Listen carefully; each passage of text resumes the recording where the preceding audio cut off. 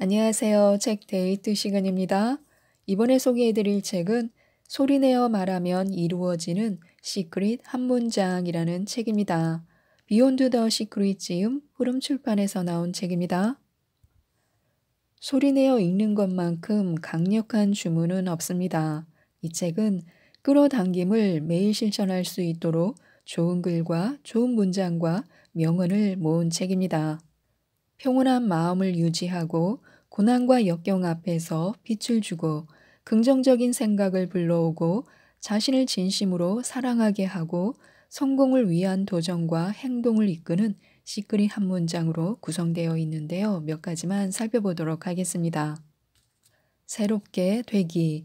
새 옷으로 갈아입으려면 먼저 낡은 옷으로부터 벗어나야 한다.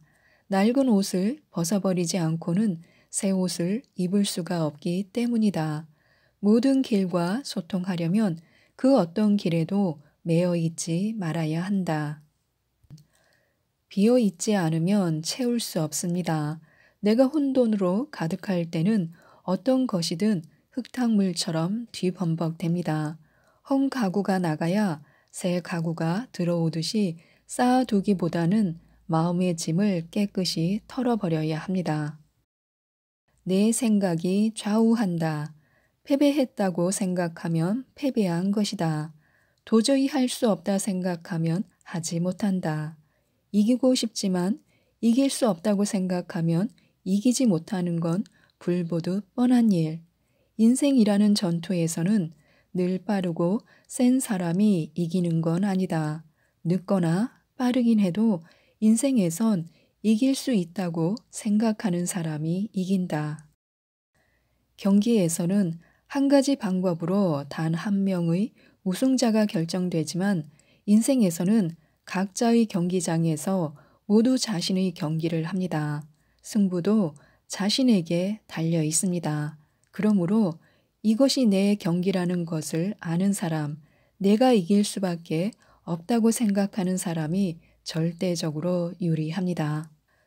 지구에서 가장 부유한 곳은 어디일까요? 언젠가 지구상에서 가장 부유한 곳은 포트녹스나 중동이 아니라는 말을 들었다. 남아프리카의 금광이나 다이아몬드 광산도 아니다. 아이러니하게도 지구상에서 가장 풍요로운 곳은 공동묘지다. 못다한 온갖 꿈과 열정이 무덤 속에서 잠자고 있기 때문이다. 쓰지 못한 책, 시작해 보지 못한 사업, 이루지 못한 관계 등 온갖 보화가 땅 밑에 묻혀 있다. 어마어마한 잠재력이 무덤 속에서 썩어가고 있으니 안타깝기 짝이 없다. 미래의 내 묘지에는 어떤 엄청난 잠재력이 발휘되지 못한 채 잠들게 될지를 상상해 보시기 바랍니다. 지금 우리에게는 그것들을 잠들지 않게 할 수 있는 힘이 있습니다. 우리의 삶은 스스로를 개발하며 관심 두고 살기에도 참 짧고 귀합니다. 운명을 덮어버리는 의지. 인생이 당신에게 가혹하게 군다면 손바닥엔 운명이라 쓰고 손등에는 의지라고 써라.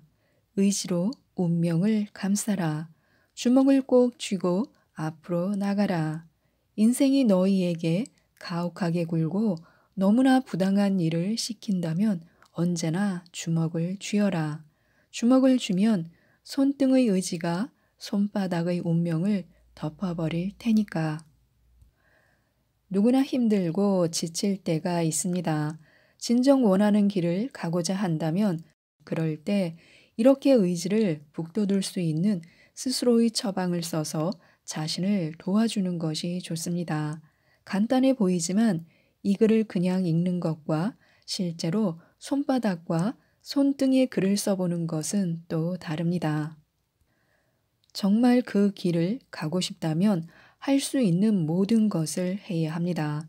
어려운 상황에서도 이렇게 나를 격려하고 스스로 힘을 북돋을 수 있는 사인을 만들어 내가 지속할 수 있도록 의지를 다져보는 것이 좋습니다.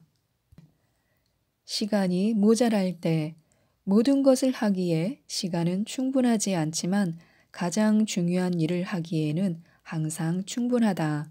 일을 떠맡을수록 당신은 더 유능해진다. 많은 일을 시도함으로써 당신이 얼마나 많이 할 수 있는지를 배울 수 있다. 시간이 많다고 해서 많은 일을 하는 것은 아닙니다.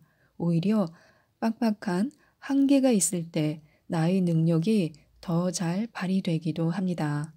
바쁘고 힘든 순간에도 그것이 나를 성장시키는 자양분이 될 수 있다고 즐겨보시기 바랍니다. 그동안 내가 지나온 한계들을 돌이켜보는 것입니다. 일이 많은 순간을 억울하게 생각하지 말고 그 안에서 스스로 자라날 방법을 생각해 보는 것이 좋습니다. 걱정 많은 사람, 걱정은 내일의 슬픔을 없애주지 못한다. 그냥 오늘의 기운을 빠지게 할 뿐이다. 누구도 일부러 걱정하는 사람은 없습니다. 하지만 누구나 걱정을 하면서 살아갑니다. 걱정이 무엇인지 생각해 보지 않고 당연한 것으로 알고 살아가기 때문입니다. 걱정을 어떻게 다뤄야 하는지 배우지 못했기 때문입니다. 걱정은 실제 존재하지 않는 것을 두려워하는 것입니다. 걱정은 내 마음 속에만 존재합니다. 걱정이 일어나는 것은 어쩔 수 없지만 걱정을 더 키우지 않는 것은 우리의 몫입니다. 걱정이 일어나면 그냥 가볍게 흘려버리는 것이 좋습니다. 너 왔구나. 그래. 알았으니까 이제 저리 가봐. 하는 식으로 가볍게 생각해야 합니다. 걱정은 꼭 해야만 하는 게 아닙니다. 마음이 모든 것의 시작. 뿌리는 열매를 창조한다. 만약 당신이 열매를 변화시키고자 한다면 당신은 제일 먼저 뿌리를 변화시켜야 한다. 만약 당신이 눈에 보이는 것을 변화시키길 원한다면 당신은 제일 먼저 보이지 않는 것을 변화시켜야 한다. 돈과 부는 결과이다. 건강과 질병은 결과이다. 당신의 몸무게는 결과이다. 우리는 원인과 결과의 세계에 살고 있다. 내 안의 세계가 내 바깥 세계를 창조한다. 나는 백만 장자의 마음을 가지고 있다. 결과가 만족스럽지 않다면 원인을 바꿔야 합니다. 결과에만 집착하고 원인을 모른다면 아무리 시간이 흘러도 원하는 결과를 얻을 수 없습니다. 내가 겪고 있는 지금의 현상이 자신의 어떤 생각, 어떤 마음에서 출발하는지 알아야 합니다. 마음은 눈에 보이지 않으므로 연필로 적으면 더욱 분명하게 들여다볼 수 있습니다. 이렇게 마음의 소리들을 종이에 적는 것을 내면 노트라고 합니다. 내면 노트에 마음을 적고 고통과 불만의 원인이 되는 속마음을 찾아봐야 합니다. 중요한 것은 솔직하게 적는 것입니다. 그래야 진정한 변화를 만들어낼 수 있습니다. 틈나는 대로 생각들을 적어서 내 마음을 들여다보시기 바랍니다. 생각의 기술. 빈 유리잔이라는 것은 없다. 항상 물이나 공기로 채워져 있다. 비어 있는 마음이란 또한 없다. 긍정적이거나 부정적인 생각으로 채워져 있다. 당신의 마음을 선하고 긍정적이고 정신적인 것으로 열심히 채워라. 만약 당신의 마음을 긍정적인 생각으로 가득 채운다면 부정적인 생각이 들어설 여지가 없다. 생각을 통제하라. 그러면 인생을 통제할 수 있다. 인생을 자유롭고 풍요롭게 만들기 위해서는 생각을 적극적으로 채워가는 기술의 중요성을 이해해야 합니다. 우리는 긍정적인 상황으로부터 기쁨을 받아야 하는 수동적인 존재가 아니라 긍정적인 것들로 스스로를 채울 수 있습니다. 건강한 면역으로 가득한 몸에 병이 들어올 여지가 없듯이 삶을 방치하지 말고 건강하게 채워야 합니다. 심각해지지 말라. 삶은 움직이는 영상과도 같다. 한 장면이 다른 장면으로 계속 바뀌는 영상과도 같다. 그런데 한 장면을 너무 심각하게 받아들이기 때문에 삶이 혼란스럽고 불행해진다. 삶을 이야기로 받아들여라. 삶을 하나의 이야기로 받아들이면 불행하지 않을 것이다. 불행은 지나치게 심각한 태도에서 생겨난다. 세상 일은 모두 놀이라는 태도를 가져야만 행복이 생긴다.